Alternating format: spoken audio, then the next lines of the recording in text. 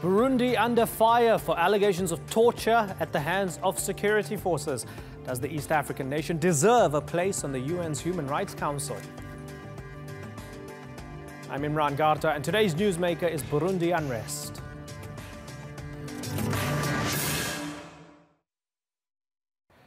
Human rights organizations are blasting the UN for allowing Burundi to remain on its Human Rights Council.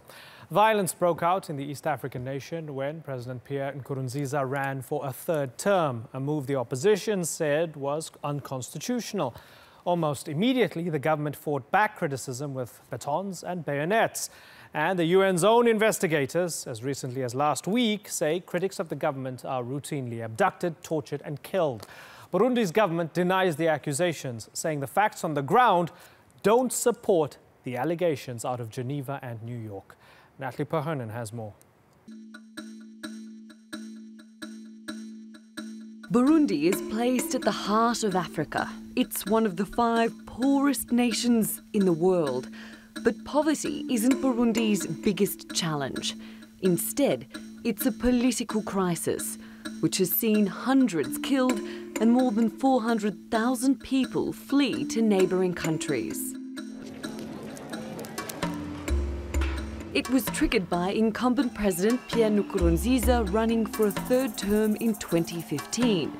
The constitution has a two-term limit on the office. Burundians have marched in their thousands as a show of faith in their president. But the space for dissenting views has shrunk. And now there's a growing number of allegations of human rights violations. Last year, authorities stopped allowing UN investigators into the country to examine those claims. But this month, the UN said Burundian security forces and allied militia groups, including the government's youth wing, the Imbonerakure, have deliberately targeted opposition supporters. Nous avons en particulier recueilli un grand nombre de témoignages we most specifically gathered a number of testimonies alleging the use, during torture sessions, of clubs, rifle butts, bayonets, iron bars, metal chains, or electric cables, resulting in some cases in the breaking of bones of the victim or making them lose consciousness. The government denies all of the allegations. We see that it's a prolongation of the UN's independent investigation on Burundi findings that the government considers biased and politically oriented. The government refutes the lies presented in the different findings as well as their partiality. The government also says the accusations are an attempt to destabilize the nation at a time when it's attempting to restore peace and stability. But will it be possible to achieve that goal when the security and rights of all Burundians are in doubt? Natalie Pohonen, The Newsmakers.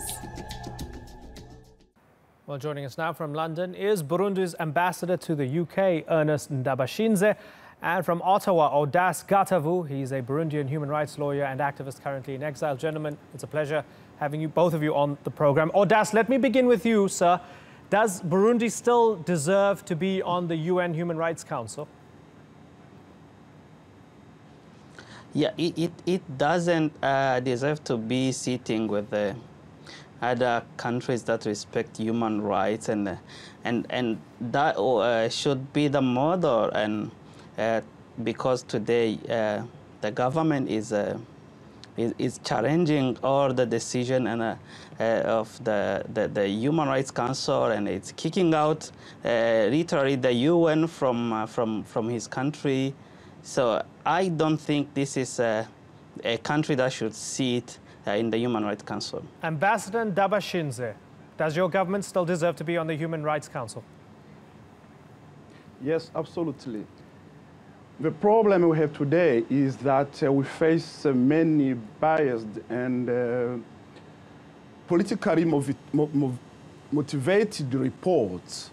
If the, those, those, investigators were doing well their job, why they don't mention how people have been trained in Rwanda and deployed to kill people in Burundi? Why? This is at least one proof that uh, there is something hidden in terms of uh, covert operations ongoing. And recently, the government of Burundi uncovered, for instance, um, a document uh, regarding the probable involvement of uh, European Union delegation in Bujumbura in collaboration with an, an NGO called War Child Holland. The documents we uncovered are clearly showing how some of our partners have been involved in this uh, regime change in Burundi. Sure, but, so but the another issue. Ambassador, if you'd yes. allow me to uh, interject here, the document shows Mm-hmm. that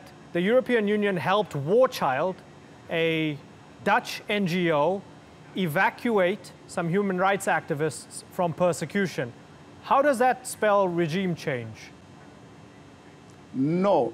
The War Child was used to help insurgents who have involved in killing, involved in uh, the failed coup of May 2015 to escape, to escape, not to respond to justice. This, this is unacceptable in any country in the world. When people are responsible of crimes, they should go and respond to the crime. Okay, that's a good point. Otherwise, Yes. we need them to, to say clearly that they support, they support the regime change in Burundi. Okay. A coup d'etat is for regime change, no? Okay, understand your perspective. Or does, doesn't the ambassador make a point? He believes that the European Union and War Child were involved not in evacuating human rights activists, but people who were involved in a failed military coup.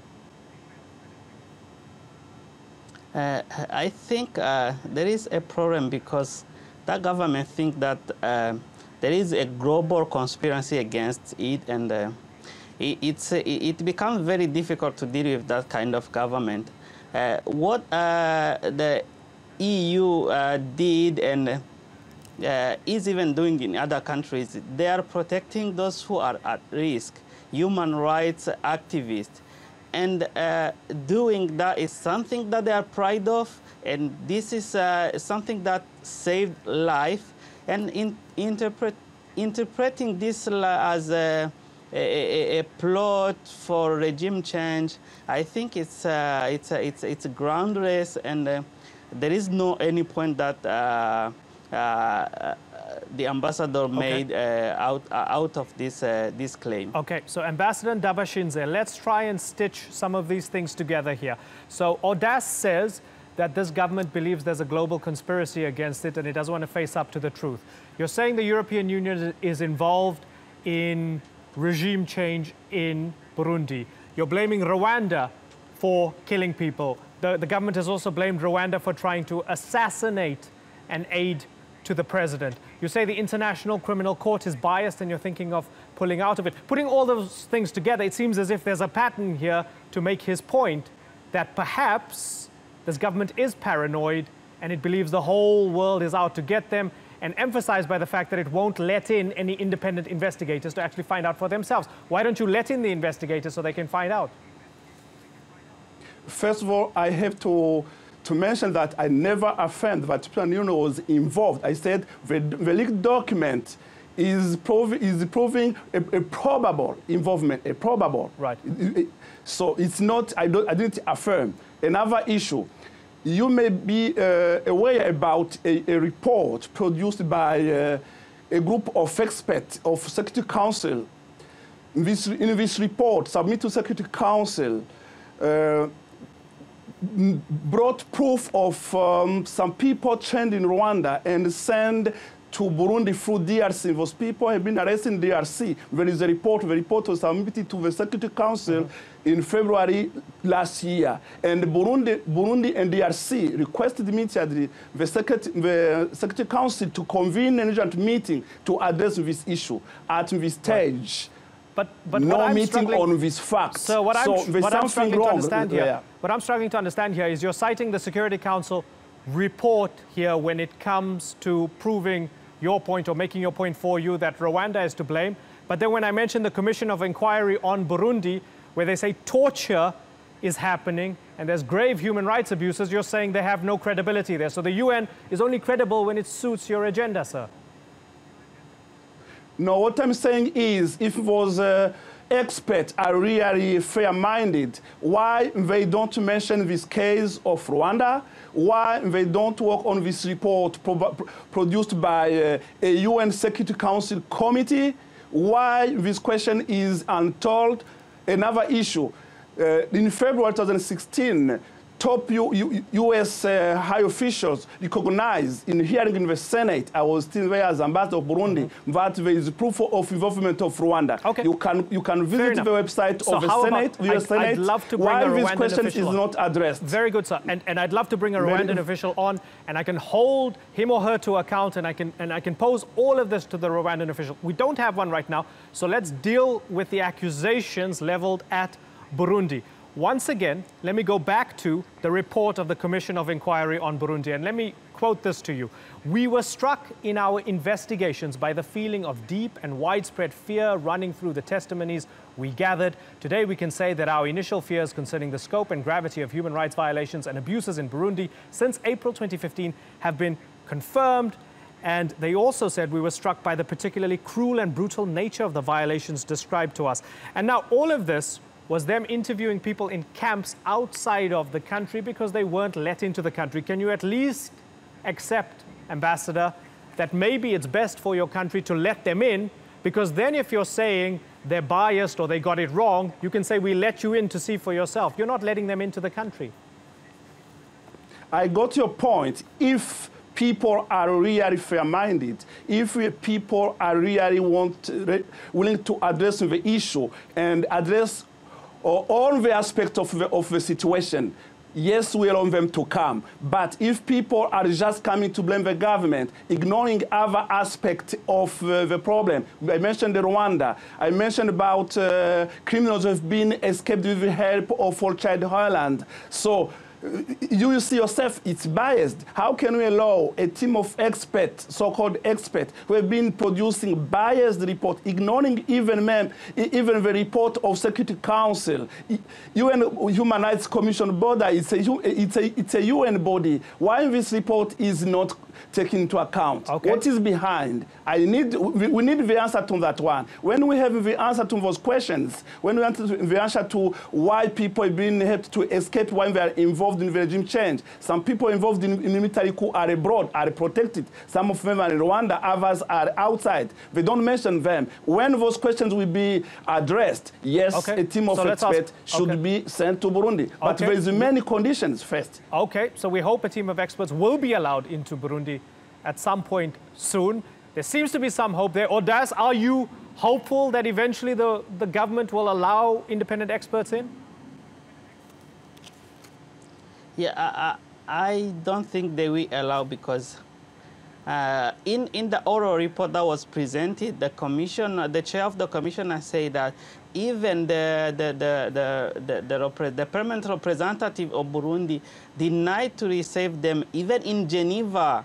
And this was not even in Burundi. This, uh, this was not an investigation that, was, that they were going to do in, in his office.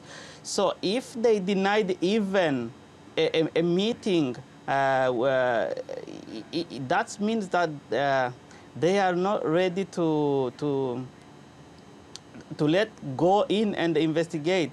And, and what, what,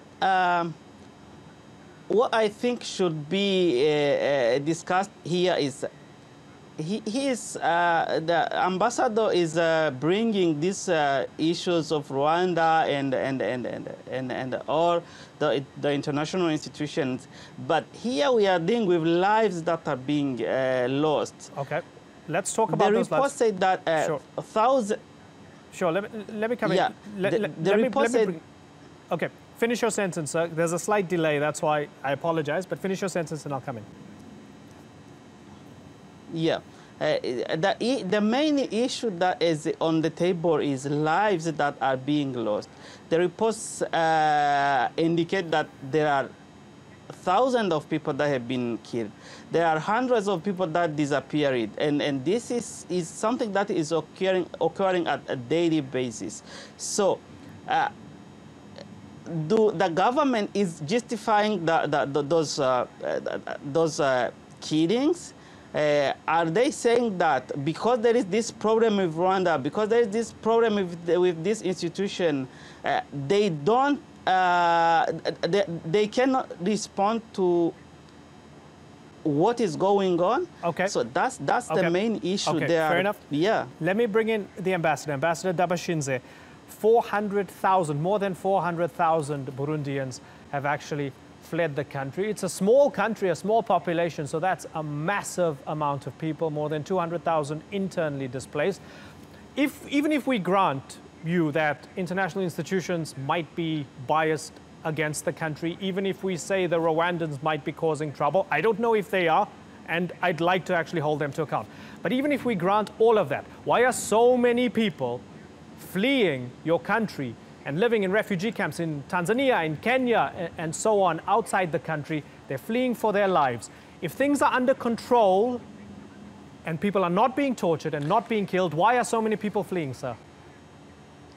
Let me respond to you. First of all, the media forget to mention that many of them, a lot of them are back home. This is one fact. A second fact, this covered propaganda from the media, from by the report, of course, i- this, this propaganda is aimed to create a kind of sentiment of uh, insecurity. Do you think that someone who is in a, in a, in a refugee camp somewhere, when he on all of the media that uh, people are to the church, of course he will, he will be he, he, will, he, will fail, he, will, he will have problems of uh, confidence to go back to Burundi. This propaganda is causing problem. This is what I'm saying. And let, let me mention it again. If the UN is helping us, if uh, international community is helping us, why all those questions are not put at the table? We are saying we don't we, we don't fear. Bring Sure. all the questions, all Okay. the question on the table. Why do you select?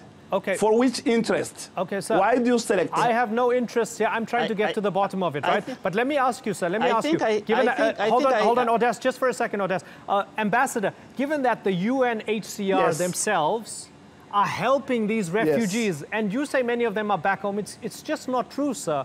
We have reports from all of these camps. Some of them are back countries, home, yes. DRC, Uganda, Kenya, Rwanda, Malawi, Tanzania, more than 400,000.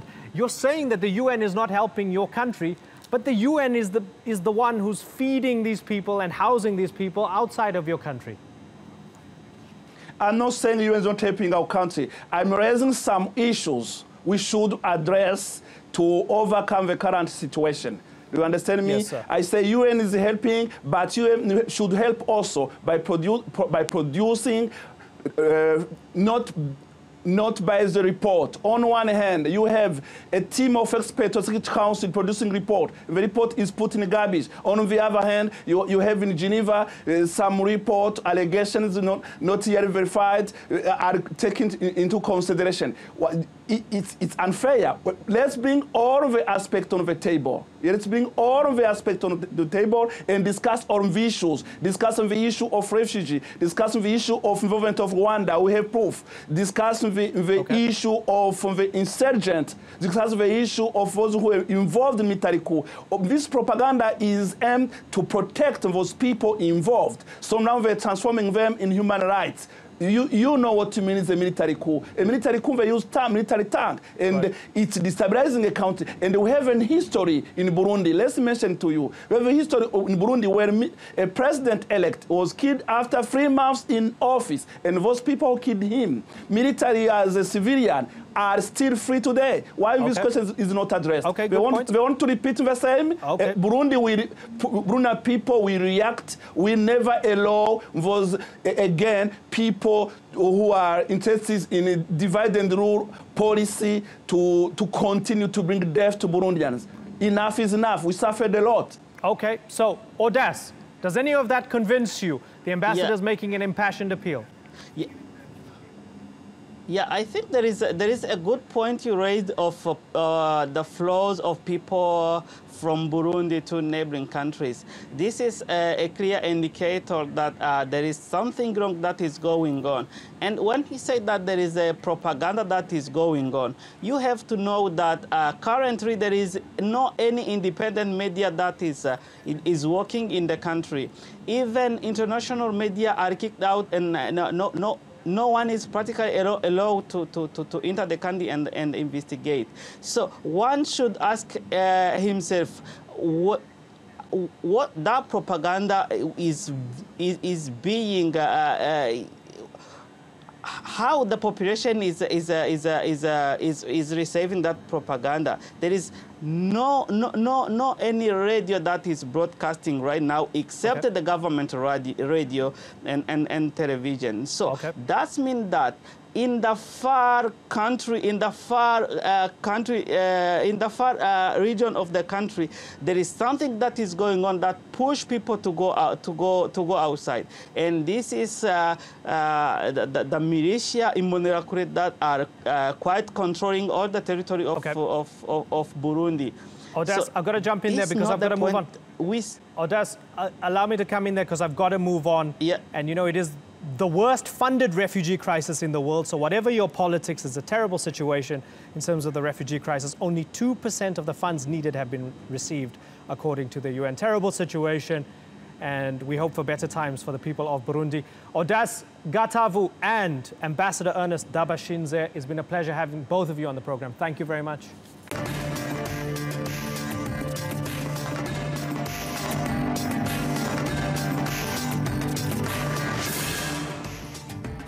Coming up on the program is Egypt trying to erase its recent revolution and military coup from the history books. And I speak to famed author William Dalrymple about the controversy over Queen Elizabeth's crown jewels.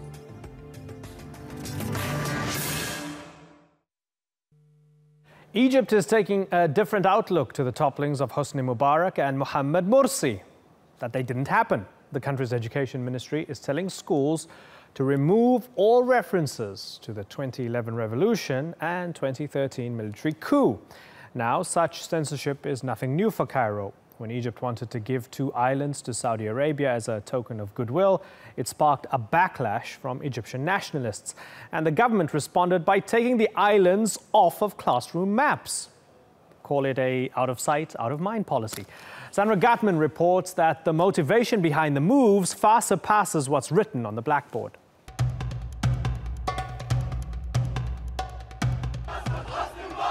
It was an uprising that transformed the country and sent ripples of political dissent across the region.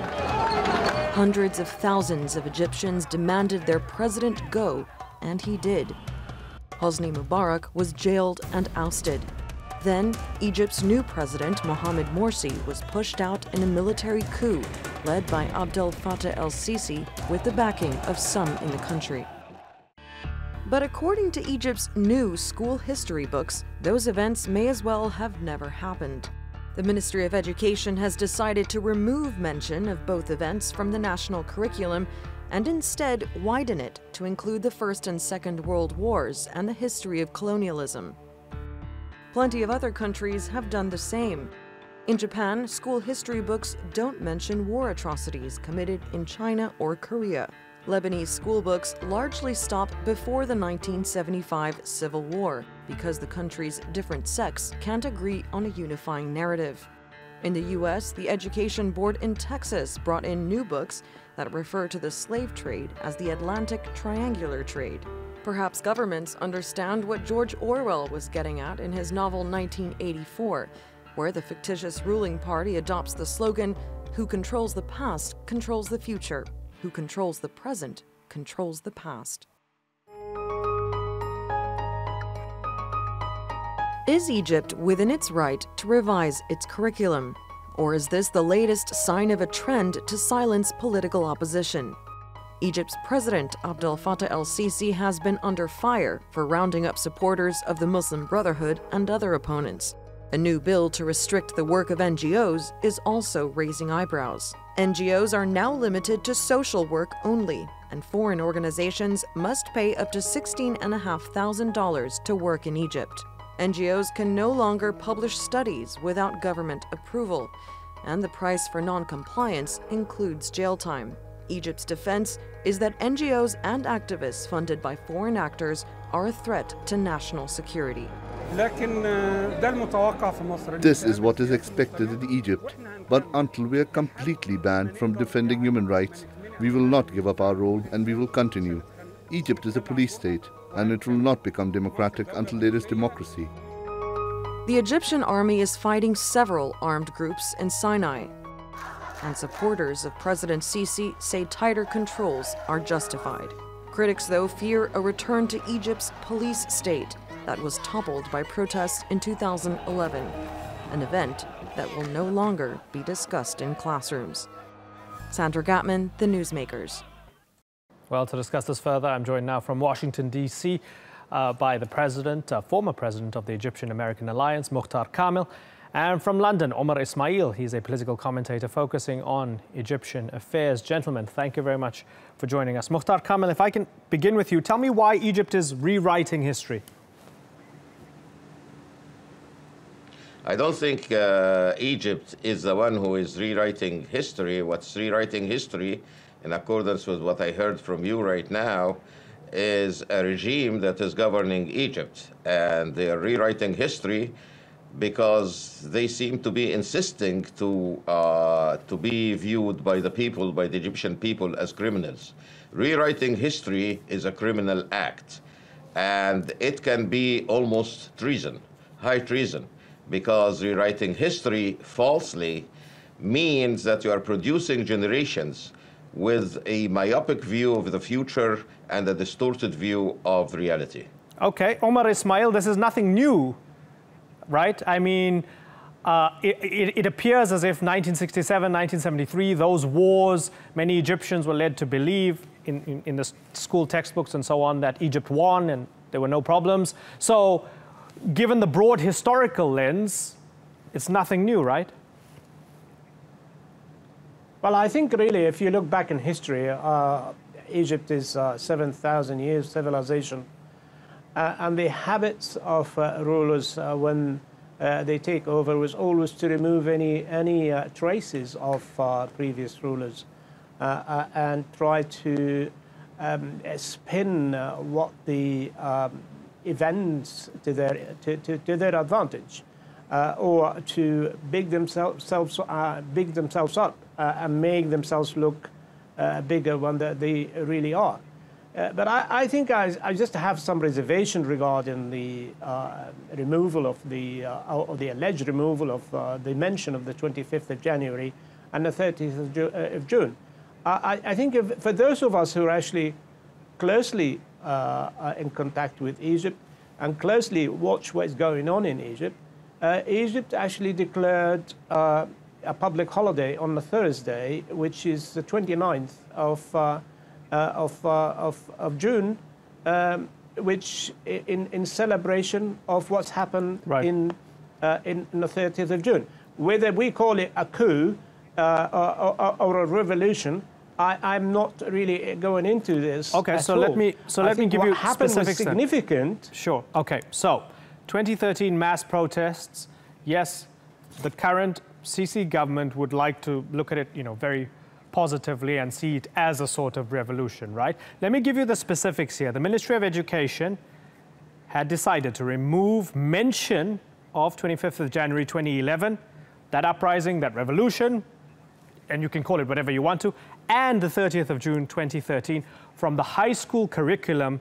And this was reported in Al Ahram. So, state owned, it's the voice of the state. Right now, no reason to, to doubt it. So, high school students are not learning about these two events. What, what benefit can that be to the high school students? Well, well I'll have to say, and one has to be obviously uh, true to history. Uh, and, and what it, it cannot be uh, simply ignored a significant uh, event that happened on the 20, 25th of January, whatever you want to call it, uh, uh, you can't really ignore it. But that's what they're because doing. Because it has changed. Yeah, what they, they, well, I, I, think they're to totally misguided because whether you are were supportive of the event or not, uh, it has a significant uh, uh, it affected the Egyptian government and the Egyptian psyche hugely, and it has a significant effect that the Egyptian are still feeling it since the mm -hmm. 20, 25th of January, and it actually led to a change of direction, and it ended up uh, a 30 I guess it would be very difficult to, to, to deny it, even Yeah. for the supporters of the regime, the staunch supporters of the regime. It's going to be very difficult for, for any supporter of the Sisi regime to, to really justify this thing because, I mean, it's, it's, it's catastrophic. I mean, it's catastrophic, it is filthy, it, it can't be defended. Right, and, and Mukhtar Kamil, in, in the age of social media and the fact that young people are going to get their information from somewhere, they're going to go on to Wikipedia and, and other places, right? So given that school's not teaching it to you, but you're going to get this information elsewhere, what kind of political, maybe resentment is that going to harbor? Down the line, is it going to make things worse? I would say, of course, I would say that uh, the younger generations who are going to see history through the lenses of the social media and find that what they are told at school is different, they will be even more contemptuous of older generations who are teaching them that. They will be more contemptuous of the regime that is governing, governing assuming that the regime, this regime, is going to survive. That's one thing. A second point that I would uh, like to uh, to make is that one of our problems really is the fact that we are kind, as Arabic-speaking people in general, we are kind of lenient about distorting history, and because of that, we in Egypt right now are in political tribes, are divided into political tribes. For instance, had the Islamists studied histories, uh, history uh, uh, without any falsification, they could have been in govern government right now, in r- ruling right now. The same thing applies to the Nasserists and the uh, Pan-Arabism. It applies to the military regime right now. The third and final point that I would like to comment on, your guest uh, from uh, London, is that saying that we Egyptians, through 7,000 years of history, have always been used to rulers coming and effacing the previous rulers' uh, achievements and events is really uh, kind of counterproductive. It is Okay. partly, So- partially true. Okay, so let's get Omar Ismail to, to respond to that. Omar Ismail, this is not business as Well- usual for Egypt, and maybe it's giving the government a free pass by saying, we've always done this. Yeah, and, and I think really just uh, I'll respond to, to, to the uh, respected colleague from America.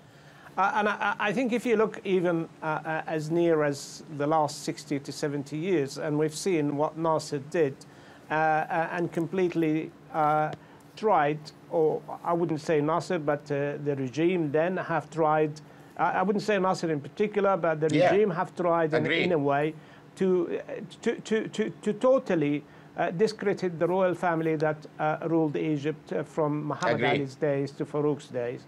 They have, uh, the royal family, again, whether you agree with what they did or didn't do, uh, has a made uh, impact on, on, on, on Egyptian life, huge impact Yes, on yes, Egyptian yes, life, and enriched the Yeah. huge, uh, Egyptian life. Nasser came in and completely discredited that. So that after Nasser tried, and maybe to a certain degree, have succeeded in, you know, uh, well, he was, uh, uh, you know, paying a lip service to uh, the history of Nasser and, and, and, and, and, and what Nasser has Yeah, I, I was just, if you allow me, if you allow me, sir, sir.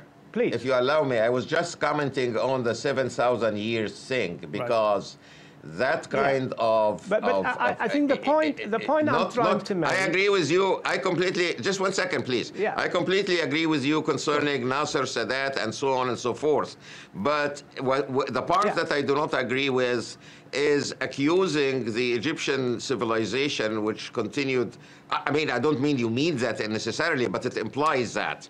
Uh, accusing it of having always been like that, denying history, falsifying history, because that way it we give justification for what is going Okay. on today Sure. and what Nasser has done, which you indicated. Okay, but I think you- I think we got it, to it the is bottom not of that, a, it's not a justification, sir. He isn't is justifying it. Okay, he didn't mean that. No, the- certainly, The you Egyptians didn't mean it. are accepting. Right. It, No, the Egyptians true. are readily accepting Okay. what really uh, the rulers always do and did Okay. in their name. They didn't in 2011. I, I totally agree habits. with you. Okay. That's true. No, okay. I, I understand. You two agree with each other. Maybe you disagree with the way he expressed it. Let me ask you, Mukhtar Kamil, about something related to this, related to the history books and related to the maps. Now, you might think there might not be any tangible benefits to removing the references to 2011 and 2013, and it might only be counterproductive. What about the two islands, Tiran and Sanafir? So, it's off the maps, right? And the sovereignty is out of the textbooks. There's a tangible benefit to that because there's Saudi money coming in to the government. So can you maybe see the tactical benefit to the government that, okay, let's take out our references to the islands, and that means we get Saudi investment? Uh, no, the island's business is nothing short of high treason.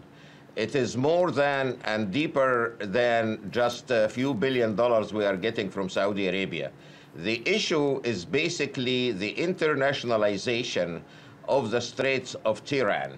And that internationalization is very, very serious for the Egyptian national security because simply Israel, anytime in the future, can build a railroad, for instance, from Eilat to the Mediterranean or to any place, can build uh, oil pipelines uh, to compete with the Suez Canal, or even can dig a canal, which I, I kind of think that it is not a, a, a, a possibility for the time being. But basically, taking such a strategic card from the country for nothing, right. uh, other than few billion dollars, and the fact that Israel is cooperating with Saudi Arabia against Iran, uh, th that is Okay. high treason. Okay.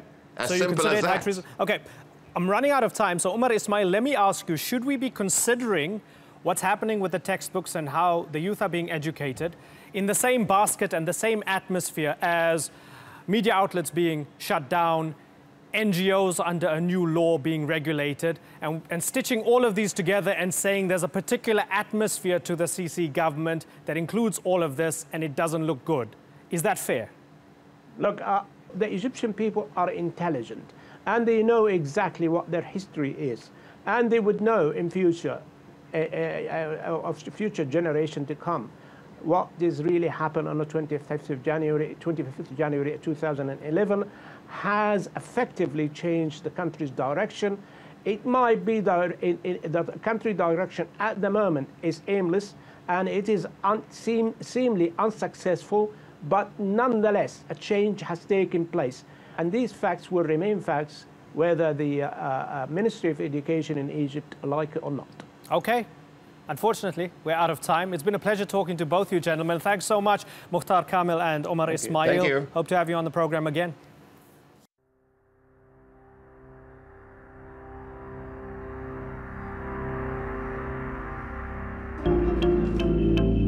Far reaching, yet isolating affliction. Misunderstood, stigmatized, and often untreated. Somalia has one of the highest rates of mental illness in the world, with an estimated one in three people suffering from some sort of mental disorder, such as depression, anxiety, or schizophrenia. Driven by severe trauma from years of conflict and ongoing security concerns, displacement, poverty, and widespread substance abuse.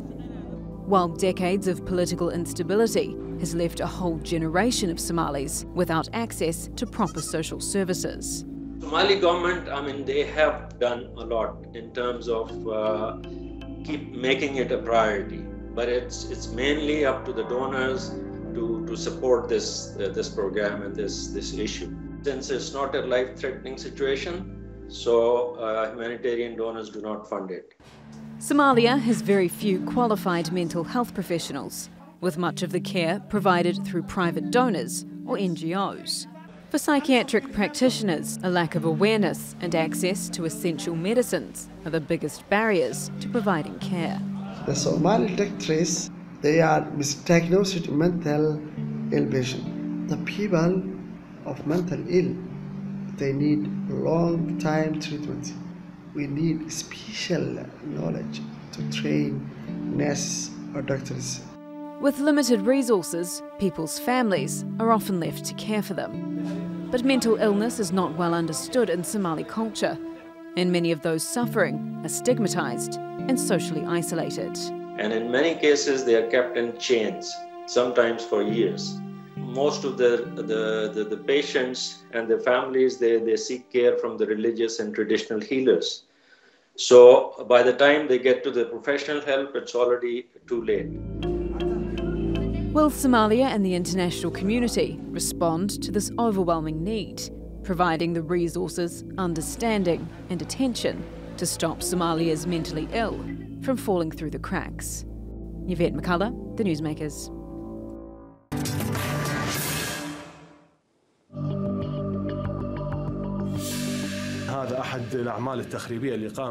It's an act of sabotage. Daesh entered into the site of King Esarhaddon's palace, which lies under the Mosque of the Prophet Yunus, a well-known mosque in Mosul.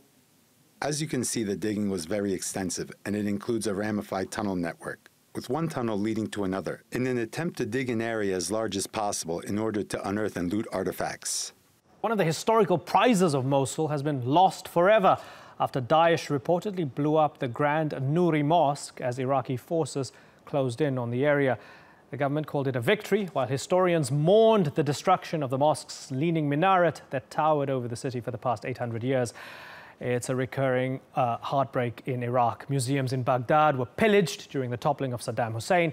And this year, a raid on a home in Bulgaria uncovered stone tablets predating the existence of Rome. Analysts say they were most likely sold to the smugglers by Daesh.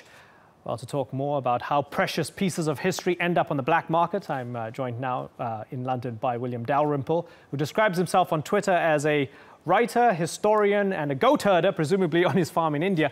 He's also written the book Kohinoor, the history of the world's most famous diamond.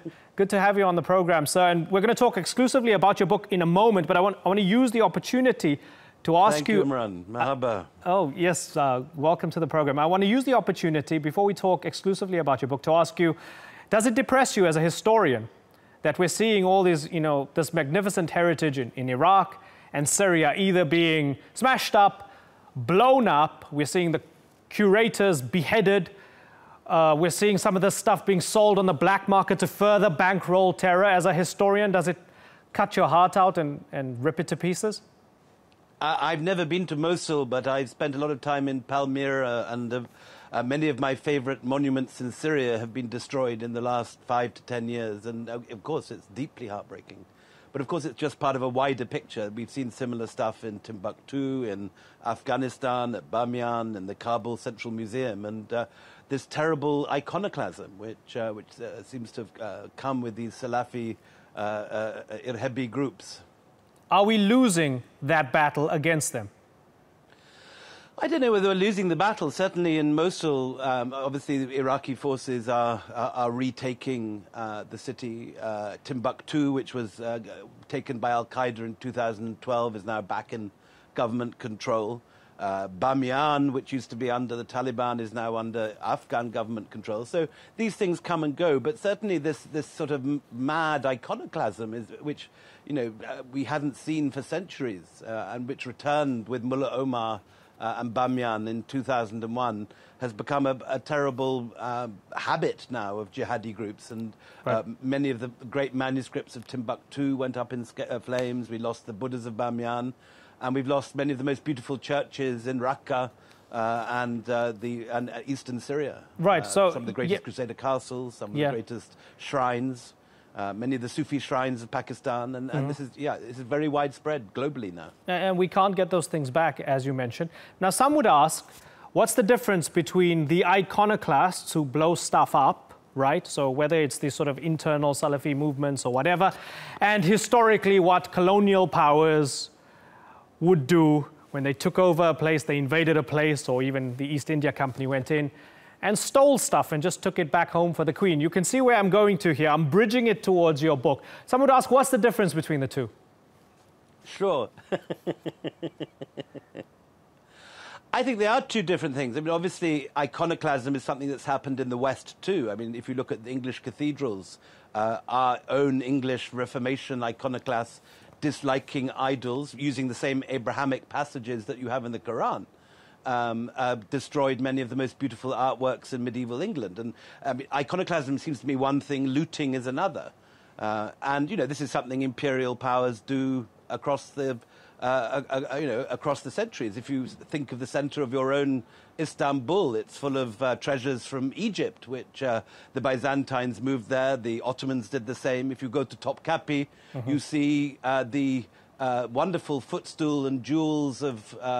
of the Mughal Empire, which was taken by Nadir Shah from Iran and then given to the Ottoman Sultan. So um, many of the Mughal goodies that didn't end up in London are now in Istanbul. Yeah. you can see where I'm going. yeah, I'd, I'd, love to walk around Sultan Ahmed with you and, and, and get the historical tour. Uh, now, you and Anita Anand wrote specifically about the Kohinoor diamond. Tell me why you decided to write about this diamond.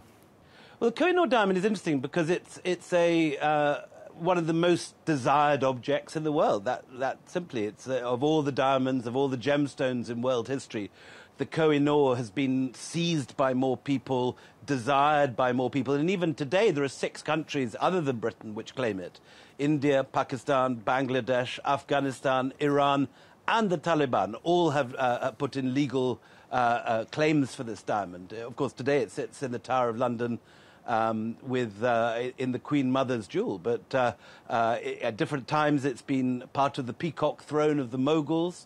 It's been uh, moved to Herat by Nadir Shah of Persia. It got taken from there to Afghanistan by Ahmed Shah Durrani.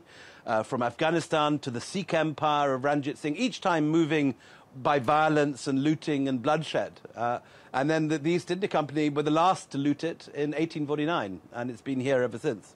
Now, something you wrote of in the book is that anybody who encountered it, who possessed it or coveted it, usually ended up uh, in not such a good place. They met uh, with a terrible end. Is there a one ring that rules them all, my precious element to this diamond? there is very much a parallel with that. This is something which, uh, I mean, whether you believe in curses or not, has sort of seen its owners suffer terrific misfortune century after century. Uh, and uh, and each one of its owners tends to lose it through through a, a, defeat in battle or some terrible personal disaster. Its owners, at various times, have been blinded, uh, crowned with molten lead, had their eyeballs picked out, uh, have been slow poisoned, beaten to death with bricks. Uh, monuments have been made to fall down on their heads. I mean, it's a it's a grisly story. And, and uh, you know, when we started work on this program, we thought that we were uh, doing a you know, rather sort of straightforward archival historical research, but it turned into a mixture of Lord of the Rings and Game of Thrones pretty quick. Is that why it's in the Tower of London and the, the Queen won't actually wear it? So the Queen has never worn it, um, and uh, the only um, monarch who ever wore it in this country was Queen Victoria. Um, uh, uh, Prince Albert died soon after that. I don't know whether you could blame other subsequent disasters such as Brexit on the on the Kohinoor, but uh, it certainly tends to bring uh, bring havoc wherever it goes. And as I say, even today, six different countries dispute the ownership. Mm-hmm. And in the book, you talk about how you know the Kohinoor only sort of became famous in a way because it was displayed um, in Hyde Park, the great exhibition of 1851. So, in a way, even though it was highly coveted and in- in- incredibly valuable, the whole world didn't know about it, but then they did after it was displayed. After it was stolen, it was looted and then displayed, right? Might there be a similar parallel these days where, apart from some specialists, Correct. people don't know about Palmyra, but now they do because Daesh blew up those beautiful arches? Or again, people didn't really know about the monuments of Timbuktu and the mm-hmm. great manuscripts of Timbuktu until Al Qaeda uh, Sahara branch moved in and started destroying that. You're right. I mean, there's a terrible sort of glamour that comes with, with this destruction. Ditto the Bamyan Buddhas in Afghanistan. Right. What can we learn from the journey of the Kohinoor diamond? From, from everything you've learned, you know, dipping into the archives, translating, you know, the, the Persian and, and, and so on. What can we learn fr- from that journey of this diamond to where it is now and dealing with some of our contemporary challenges? I think the history of the Kohinoor shows, you know, that, that man has coveted uh, beautiful objects and is prepared to go to very ruthless lengths throughout history to, to get their hands on it. Diamonds are particularly uh, susceptible, I think, to, to this sort of uh, vortex of violence in that they're obviously enormously portable. A, a, a single diamond can support uh, you know, uh, uh, c- can bring a fortune to, to a, a family for generations, but Mhm. uh, can fit in someone's pocket. So the urge to, to kill and steal with something like that is obviously immense. And throughout history, uh, as early as the you know 10th century BC, Indian texts are talking about diamonds bringing curses with them, uh, and this is something we observe even today. Yeah, and this is certainly something I'm, I'm going to be telling my, my wife about. Good lesson, don't covet diamonds at all. Um, any new books on the horizon before I let you go? Yes, I'm. Uh, I'm going to be um, writing a big history of the East India Company next. This was the world's first great corporation, but also the world's most violent. Uh, uh, people talk about the British taking over India, but it was actually something much more sinister. It was the. Uh, it was the world's first multinational corporation, run from an office in London, which took over the whole of the Mughal Empire. Right. Um, and uh, it's a hell of a story. It's an extraordinary story. Well, looking forward to it, and I, and I think, yeah, I mean, a lot of people don't uh, uh, don't presume that uh, this happened in the past. They talk about major corporations these days running governments. Well, it happened on a bigger scale back then, didn't it? This, this is uh, a far more threatening thing than anything we have today. I mean, imagine Walmart with infantry regiments, or Facebook or Google with fighter jets or nuclear submarines. Give it time. idea of the, give it time. I hope. I hope we'll never see anything like as violent as the East India Right. Company again. It, by 1800, it had 200,000 troops, twice the size of the British Right. Army. Yeah. Uh, and was obviously run by shareholders for profit. Mhm. So uh, uh, I can't think of anything in the world I'd less like to be taken over, taken over by or colonized by than the East India Company. Right, right. Uh, important concepts. Looking forward to that book as well. William Dalrymple, thank you very much for joining us. That's all for this edition of the Newsmakers with me, Imran Garda.